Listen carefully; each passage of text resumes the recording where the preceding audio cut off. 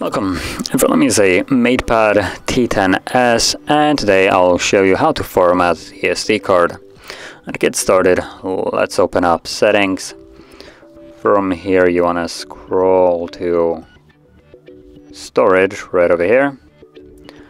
And as you'll see we'll have two tabs, internal shared storage or memory card. So select memory card and then tap on format. It will give you a message that all data currently stored on this SD card will be erased to avoid losing data. Back it up before continuing. So obviously, if you have something that you'd like to keep, back it up. If you don't, tap on the button. It will begin the process. It only takes about like 3 to 5 seconds and there we go, it's finished now. So tap on OK and you're done. And if you found this video helpful, don't forget to hit like, subscribe and thanks for watching.